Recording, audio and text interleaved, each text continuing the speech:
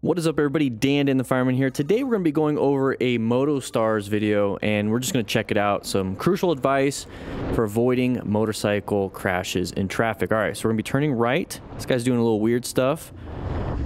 And there's a really abrupt right turn. We should not be doing that as the white truck. Let's go and take a look at what kind of happened here. So we're coming up to an intersection, which should be automatic orange stage anyways just in case something like this happens. We want to cover our brakes. We want to slow down, obviously. So when we're slowing down, weight's going to be transferred to the front tire. It's going to be easier to brake and squeeze, squeeze, squeeze, squeeze, squeeze. So it's going to come up to here. The guy's in the left lane. The truck's in the left lane. Switching over to the middle. Okay, not a big deal. It's pretty typical. So we're starting to squeeze our front brakes. Okay, good. We're, we're coming up to an intersection. We know we got to turn. So this guy is in the middle lane, right turn only kind of awkward. Why are we switching that? Yeah, so to me, it's like that awkward feeling. So like I said, it's going to be in that orange stage. It's like, huh, something is not working out right. So let's go and take a look at this. Really weird. He should be kind of accelerating through the intersection, turning left. So it's not something I like. Plus, he's in the middle of the uh, two lanes. Um, so that's going to tell me something. So right here, boom, immediately. Didn't like it. The rider also did not like it. Applied really good brake pressure. So we're already starting to become a, a smart rider. He's seeking and recognizing and understanding that this is a hazardous situation. And with that, he's putting himself in a good position. Located the hazard. He's assessing if this is a threat and he's navigating that threat. So very good, smart rider on this part.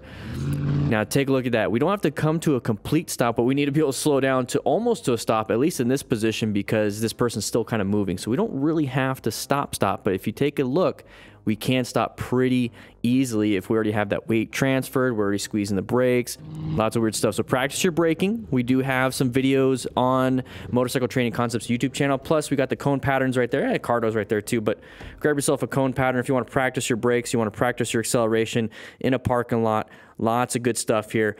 New discounted price. I think this is $18 right now just for this. Let's go ahead and grab it. All right, so right here we have a the result of a mirror check before a lane change. Already we can see that we are in a blind spot of this car, okay? So do we start to see some patterns here? Let's go and take a look. Okay. Not a big deal. Ooh, slamming the brakes on us. Why did that happen? Well, there's an intersection coming up. We don't know exactly why, but it's not something that we want to be a part of. So let's take a quick look. All right, so yeah, we're in the blind spot. I'm already in orange stage just because of that. I do see an intersection coming up, and it's very hard to see just because of the GoPro. Uh, but you see the lights. You definitely see the lights coming up. So we're going to be in automatic orange stage. I keep saying that. If you don't know what we're talking about here, we do have the color code chart. White is no buenos. You don't want to be uh, zoned out. Yellow, you're zoned in. So about 80% of the time, you are zoned in to the situation. So when you're riding, typically that's what's happening. But when you see a corner, you get into a blind spot. You see the side of the vehicle. You see an open lane pattern. You see an intersection. You're going to be jumping into orange stage just because that's going to be something that possibly could happen. That's where a lot of crashes happen, a lot of close calls happen. So we're going to have that uh, awareness going on. And that's really where planning comes into play. If you notice, P is yellow. So we're always consistently, can't even say the word, positioning for safety. But then once we um, find something, we're locating hazardous situations and assessing, that's when we're in orange stage. Red is navigating that threat. So we want to get ourselves out of these situations and move out of the way. If you don't know what we're talking about, we do have a motorcycle training course. Check it out, links in the description. And this is the first unit. We really focus on the MTC awareness stages and planning your ride. We're updating everything. This is the new plan, but let's go ahead and move into this one right here. There's brakes. Okay, got brake lights. We got a decent space cushion. We're doing pretty good here. Doing pretty good. Not too bad, not too bad. But why are we all of a sudden slamming the brakes? Don't know. Don't care. Really don't care. So we're applying the brakes here. And depending on speed and depending on our skill level, we could probably stop in here. But one of the things that happens is that when you are applying the brakes, you're not going to have that total stopping distance, okay? We do have a good space cushion, but our total stopping distance isn't the best. We have to react, perceive, and then have braking distance equal total stopping distance. The faster you go, the more braking distance you need. So that's why I tell you guys not to speed. But if something's happening to where you just don't have enough braking distance, you're going to collide with something. So what we can do is apply brakes to buy ourselves some time and some cognitive uh, reasoning basically going on to where we can figure out, okay, where is our escape path? What can we do? Because we're not stopping in time. What can we do? Can we swerve into oncoming traffic? It doesn't look like there's anybody there, but I will take that opportunity if I have to because we don't need a lot of room, lane filtering and everything.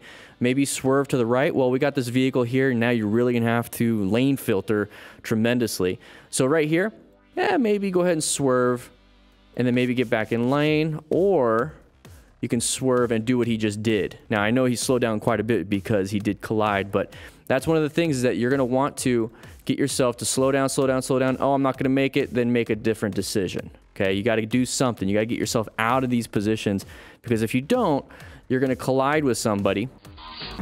And there's that hand. Okay, so take a quick look at that. Right hand, this, he has motorcycle gloves. It's still going to be painful, but you see he has knuckle protection. Still might break uh, some of the meta, I'm sorry, your phalanges. Not a good situation there. So think about mechanism of injury here. Hand injuries, not good. Okay, if you work with your hands, this kind of accident is going to be a big problem. Hopefully he's fine. Okay. So with that said, everybody, I hope you guys ride safe, be safe. Grab yourself a Smart Rider Drill booklet. Links in the description. Just click that riding dash smart slash one dash link. You only need one link. You get rescue packs, this, and all the affiliates below. I'll see you guys around.